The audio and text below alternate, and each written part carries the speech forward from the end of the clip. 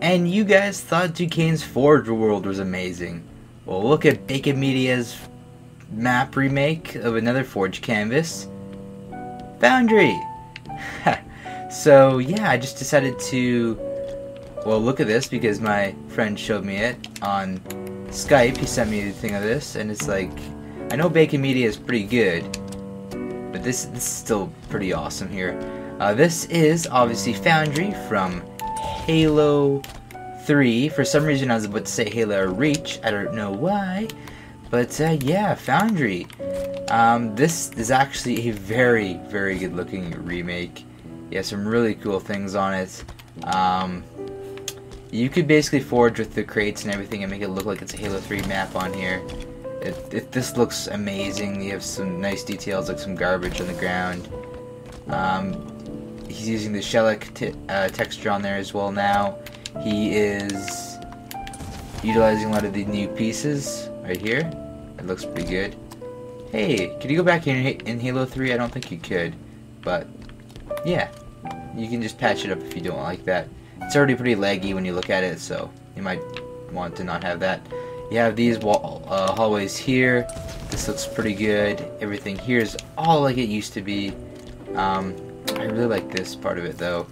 And uh, just these walls are very, very detailed. I like it a lot. Um, this is a very, very good remake. Uh, I, I, don't really know what else to say. Like, there's not really too much else with this map. Uh, you can't really go outside. This is what it looks like outside.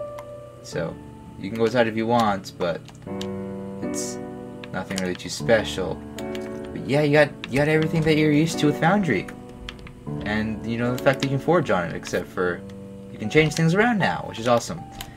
Uh, yeah anyways I'm gonna end off the episode here. I'm sorry for it being really short. Again go ahead and download this map off of Bacon Media. Remake lots of your Halo 3 maps if you really want to. Um, and you know if they don't utilize this piece right this whole part here you can just delete everything there build it out here and eliminate a lot of that lag. I think even if like that's all selected. Even if I do like like this, I think that'll like cancel a lot of the lag. Like if, if, if this is just blocked off, it should, yeah, it doesn't it doesn't lag anymore. So keep that in mind when you're forging, and it should be all good. Yeah, there's some massive frame rate lag here. Uh, hopefully, you can fix that a bit. But yeah. I hope you guys enjoyed. I hope you guys enjoyed, and I will see you next time. Bye bye.